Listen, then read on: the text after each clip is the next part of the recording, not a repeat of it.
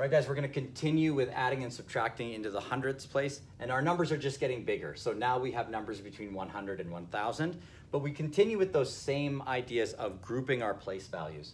So if we're doing the count forward strategy, we, uh, if we're adding, we have our hundreds placed together, tens, ones, tenths, hundredths.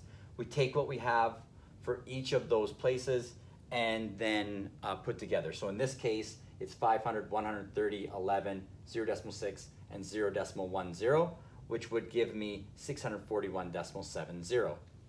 If I'm stacking those, I just need to make sure that my place values are uh, right one above the other, and I will uh, carry over if I have an answer that's above 9. When I'm subtracting, I can once again do the, uh, this time it's called the count back strategy.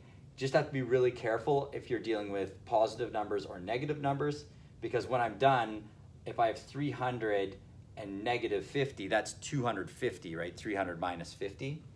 And then I put 7 on and 0 decimal 2 on, that would give me 257 decimal 2. And then I have a negative 0 decimal 08. So from 357 decimal 2, I need to take off 0 decimal 08 to give me 257 decimal 12. It's quite difficult uh, when you're just getting started. The good thing about it is you can do a lot of it in your head though.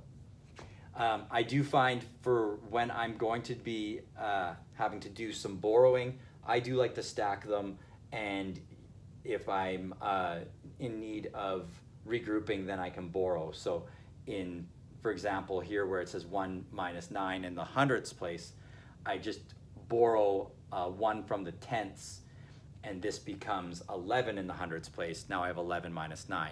I do find it to be uh, a little easier to deal with when you're dealing with complicated numbers. I find the count back works really nice if the numbers are simple, but as they get more complicated, I go over to this other strategy. On the back side of your page, you have uh, 10 questions to practice these uh, skills. So um, I will come back with another video with uh, some checking in on your answers. All right, guys, thank you.